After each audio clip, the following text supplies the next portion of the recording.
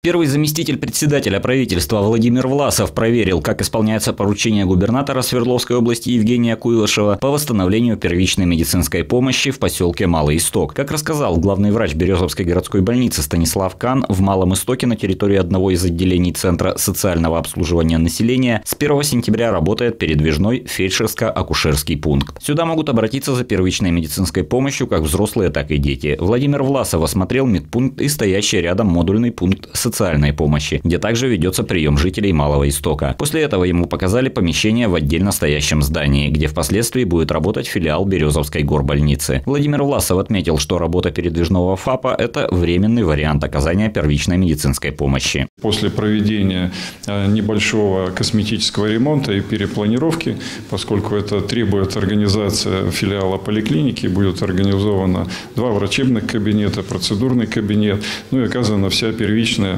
Э, медицинская помощь. Станислав Кан доложил, что после ремонтных работ в этих помещениях планируется обустроить два врачебных кабинета и процедурный кабинет. Сейчас с руководством социального учреждения уже заключен договор безвозмездного пользования помещениями. Готовится смета для проведения ремонтных работ. В Малом Истоке проживает около 6 тысяч человек. Среди них есть и маленькие дети и пенсионеры. Именно по этой причине губернатор Евгений Куйлышев поручил создать все условия для сохранения медицинского обслуживания жителей этого микрорайона Екатеринбурга друга. Безусловно, э, как бы филиал поликлиники будет принимать полностью взрослое и детское население, оказывать услуги в рамках оказания первичной медицинской врачебной помощи. Напоминаем, губернатор также неоднократно предупреждал руководство муниципальных образований, что в случае безответственного отношения глав к проблемам развития территорий область может поставить вопрос о неэффективности руководства, а также о возвращении ряда полномочий муниципалитета на региональный уровень. В Артемовском городском округе нет необходимости в передвижных ФАПах. Да, они и не положены нашей больнице по ряду объективных причин. Уровень охвата населения и качество медицинского обслуживания Артемовская ЦРБ старается увеличить за счет стационарных ОВП, оснащенных всем необходимым. Скорость оказания медпомощи – немаловажный фактор в своевременном лечении, и этот вопрос решается за счет обновления и увеличения больничного автопарка. Решить все вопросы разом получается далеко не всегда, однако артемовские врачи прилагают к этому все усилия, надеясь не только на поддержку Минздрава и муниципалитета, но и понимание со стороны